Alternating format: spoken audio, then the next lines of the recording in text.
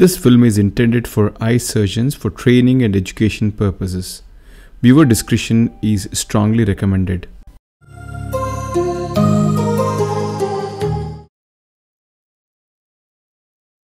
Hi, in this video let us see how did I manage a case of PC tear in an eye with posterior polar cataract. There is a PC tear with possible vitreous disturbance. There is cortex as well. How should we approach the situation? What should be our priorities? Let us see the step-by-step -step approach which I took in this particular case. He is a 60 year old man with a classical posterior polar cataract with a high probability of a pre-existing weak posterior capsule, very much vulnerable for an intraoperative PC tear. With all the precautions taken, the posterior capsule was breached. This was uh, obvious during the epinucleus removal and at this moment I'm suspecting vitreous prolapse as well. So the situation is there is a PC tear with possible vitreous prolapse I'm not sure of the size of the posterior capsule tear as there is overlying lens matter and cortex. To address this situation first, I'd like to prioritize my goals. Number one would be probably the most important one to avoid any pulling at the prolapsed vitreous. This will prevent any traction at the vitreous base. For this, I need to diagnose the vitreous prolapse, identify it and deal with it by doing anterior vitrectomy. Number two would be then to deal with the lens matter and the cortex. Number three would be to prevent enlargement of the PC tear and an attempt to do a posterior capsulorhexis if possible. And lastly, place the intraocular lens. The most important and my first priority is to deal with the prolapse vitreous. The vitreous is identified by using diluted triamcinolone acetate. The bottle height is kept quite low, just enough to maintain the chamber. The cutter is placed behind the PC tear with its bevel facing anteriorly. And as soon as the vitrector is put on, we can see the anteriorly prolapsed vitreous being cut and aspirated to the cutter's port. By keeping the cutter beneath the level of the PC tear and using a very low bottle height for irrigation, we can minimize the chances of the enlargement of the PC tear. Once the connections between the posteriorly prolapsing vitreous is cut, these anterior cut strands of vitreous are removed later by moving the vitrector up in front. Once the vitreous around the vicinity of the bag is completely removed, I would have achieved the first goal that is to avoid any traction of the vitreous base.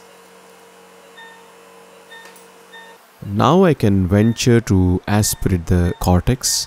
I use the cutter itself in aspiration mode to remove the cortex and then again switch to cutter mode if at all there is a suspicion of vitreous prolapse.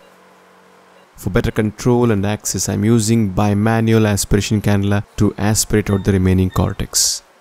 Before switching hands, OVD is injected into the chamber to prevent it from collapsing. The cortex from the other quadrant is then aspirated out.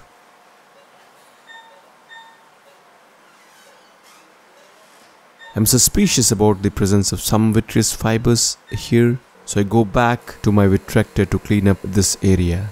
My next goal is to prevent the enlargement of the PC tear. Because the edges are ragged, this tear is vulnerable to enlarge during further maneuvers of cortex removal. This can be achieved by getting a PCC that is a posterior capsulorhexis. After removing the vitreous around the tear, the tone edge is held and the curvilinear tear is attempted. The visibility is not great because of the poor centration, my apologies.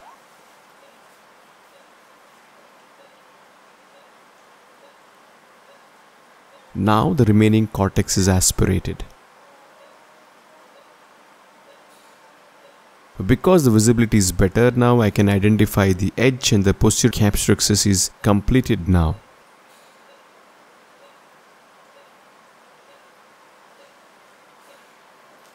The cutter is used to complete the anterior vitrectomy. Time to place the intraocular lens.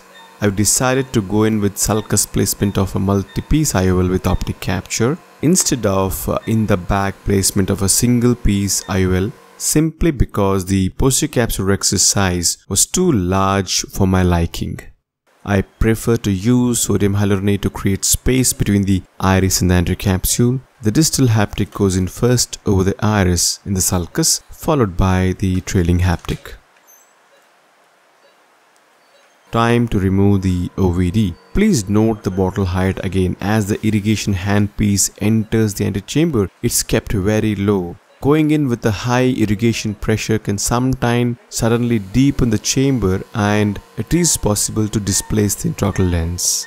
The vitrector is again used to remove all the OVD which has been pushed into the vitreous cavity behind the lens and also the OVD in front of the lens is aspirated out.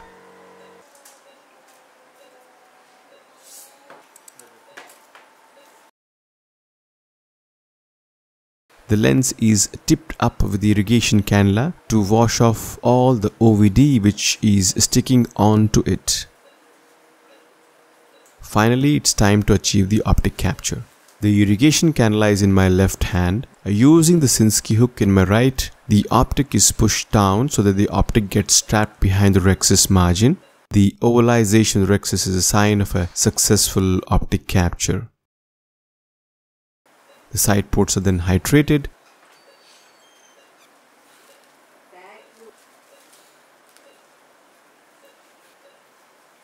Intracameral antibiotics are used and these are the post-op pictures. As a protocol for the eye which has had a PC tear, uh, this eye too will undergo periodic peripheral retinal evaluation and OCT macula. Currently the retina is fine. So let's summarize.